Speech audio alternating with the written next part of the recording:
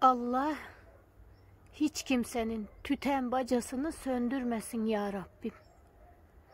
Bacalar tütsün. İnşallah. Sabah duamız olsun bu da. Hayırlısıyla güne başlarken şöyle duamızla başlayalım inşallah.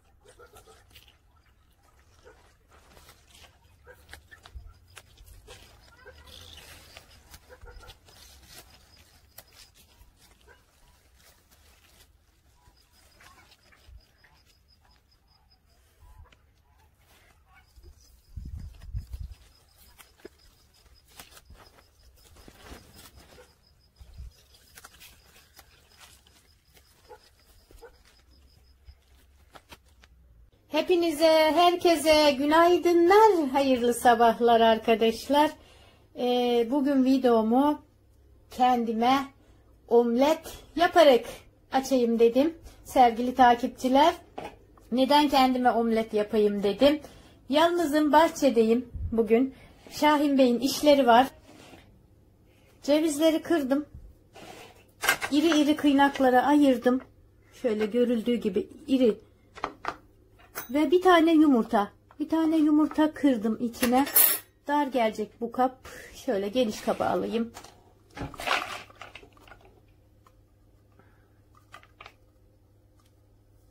Yumurta ve cevizleri kaba aldım.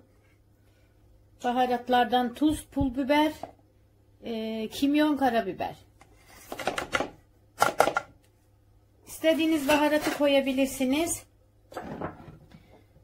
Çok azıcık mısır unu. Çok az, çok az. Bir çorba kaşığı yok arkadaşlar. Birazcık da çok az su.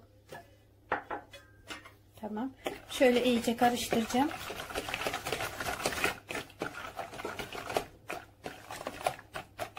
Ve bu omlet özel olacak. Benim için olacak sadece. Evdekiler e, biz beraber kahvaltı yapacak olsaydık onlar kesinlikle bu omleti yemezdi. Neden yemezdi? Sevgili arkadaşlar. Ah. Tüpte paf paf yaptı. Niye öyle yaptı? Allah korusun. Bismillahirrahmanirrahim. Tamam. Ne yemezdi dedim arkadaşlar. Tavanın içindeki iç yağı ve kuyruk yağı. Onlar e, iç yağıyla sabah sabah kuyruk yağıyla omlet yapsam Özlem hele artık burnunu tıkar, evi terk eder. Şahin Bey gene öyle.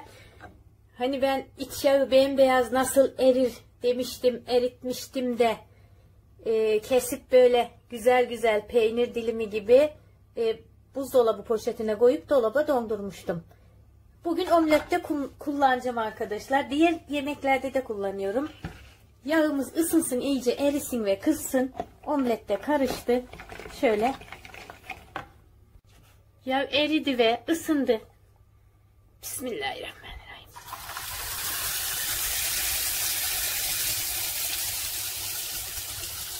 Güzel bir şey oluyor. Ben seviyorum.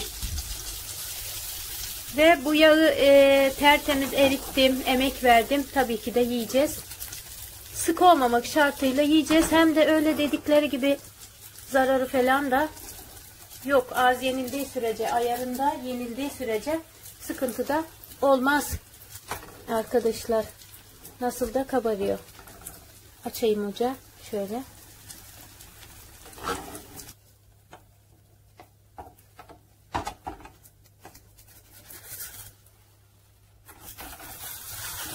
Altı pişti bir elimde kamera olduğu için zor çevireceğim ama çevirmeye de çalışacağım.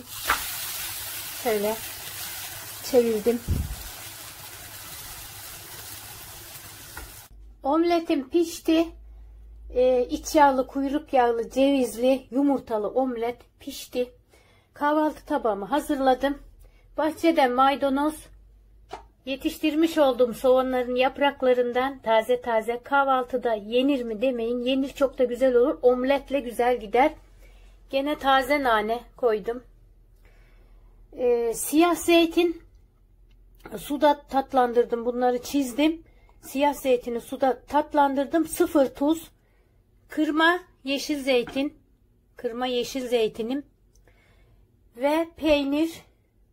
Tabii ki de kahvaltıda en çok sevdiğim en çok sevdiğim havuç ve kırmızı pancar karışık olarak rendere yaptım.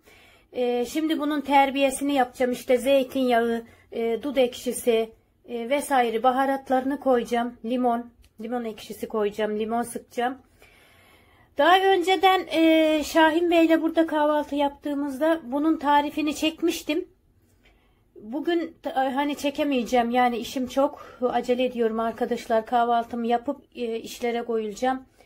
Kapı kilitli kaldı. Daha sonra e, gösteririm. Dışarıda kaldım. Zor anlar yaşadım. Zor saatler geçirdim. İyi ki komşum geldi.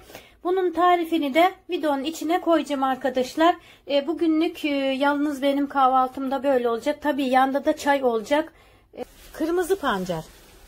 Şöyle kırmızı pancarı hemen hemen herkes bilir. Pazarlarda bolca satılıyor. Kırmızı pancar. Bir tane de havuç. Pancarı soyacağım. Keseceğim önce burasını. Yeşil yapraklarını da böreğe koyacağız. Böreğe kullanacağız. Pancarı soyacağım.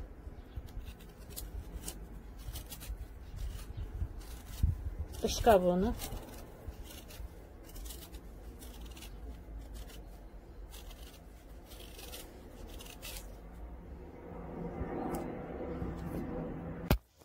Pancarı soyduk, rendere yapacağım.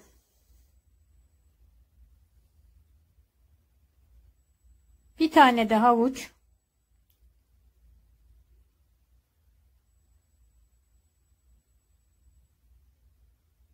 Havucu da rendereledik.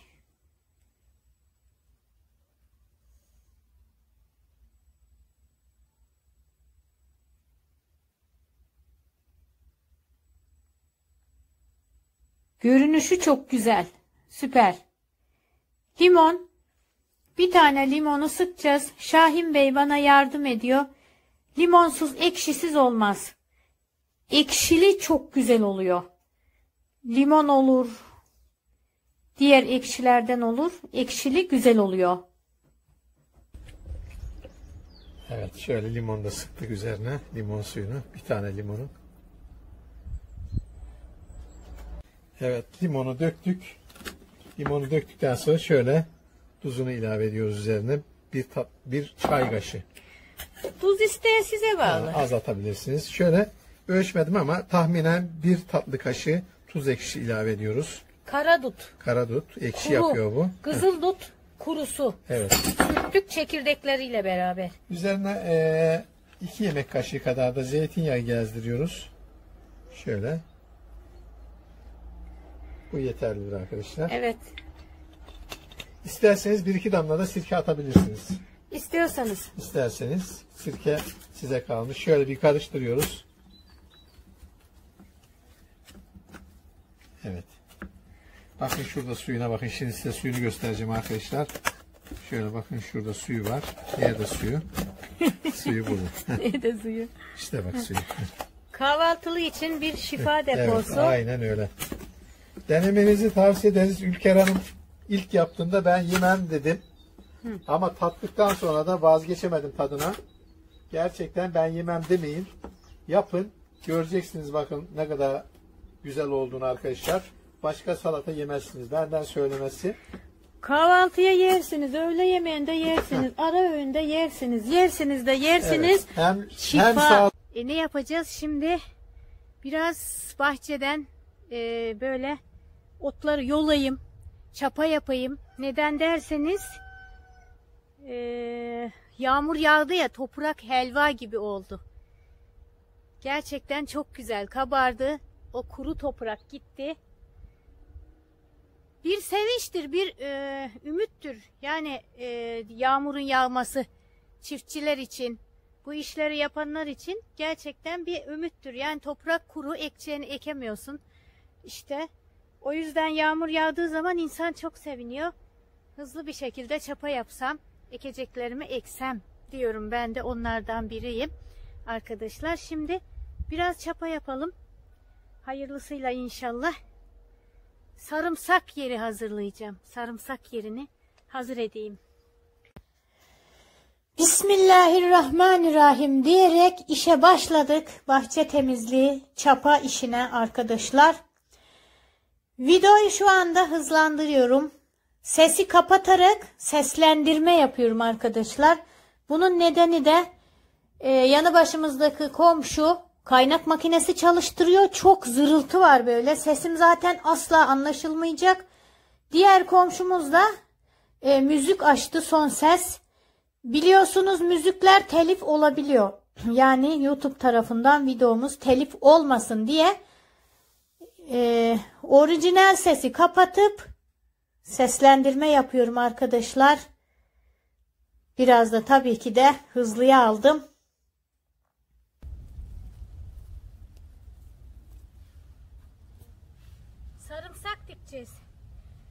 Sarımsak dikeceğiz de tarlada açık yer yok. Her yer kapalı. Nerede açık yer var orayı bulmaya çalışıyoruz artık. Ne yapacağız? Nerede açık yer varsa oraya sarımsağı ekeceğiz.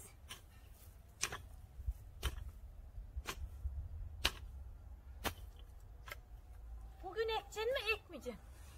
Bugün sarımsağı ekmeyeceğim sadece. Yerini hazırlayacağım.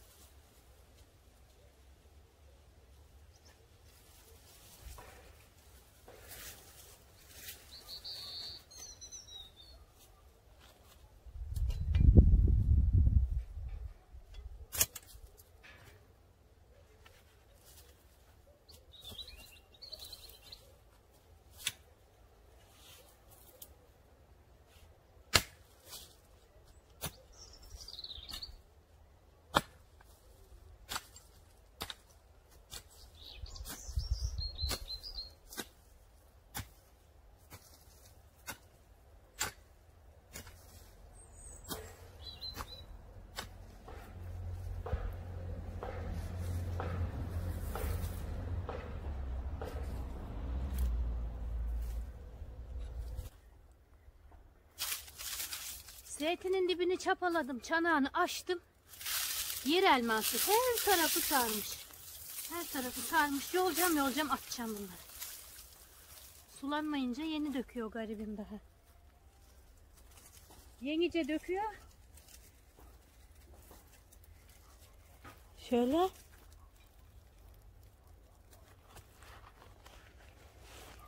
Çok şöyle almış vermiş bahçeyi. Bir de kurumuşlar susuzluktan. Bunların hepsini yolacağım. Mecburen yolacağım.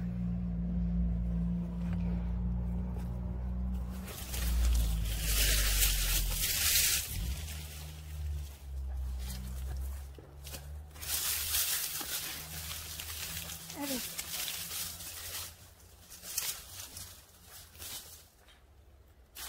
Biraz köve götüreceğim. Bitmek için. Bunları toparlamam lazım. Yolmam lazım. Burada var var. Ahududu var. Yani böğürtlen. Ahududu dedim.